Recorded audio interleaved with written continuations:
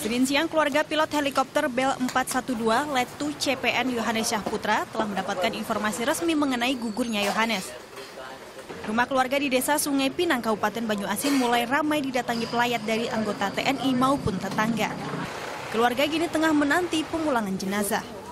Jam 2 subuh semalam, ada perwakilan dari Waituba Lampung yang dikepalai oleh Letkol Samsudin uh, beliau datang ke sini membawa kabar duka. Uh, intinya kabar dari beliau itu ya sudah A1. Dan beliau mengatakan kepada kami sekeluarga kalau anak kami telah gugur. Letu CPN Yohanes Syaputra bertugas di Tarakan sejak satu setengah bulan lalu. Yohanes lulus Akademi Penerbangan Ajandam 2 Sriwijaya Palembang tahun 2006. Ia meninggalkan seorang istri dan dua orang putri. Ardiansyah Nugraha melaporkan untuk NET.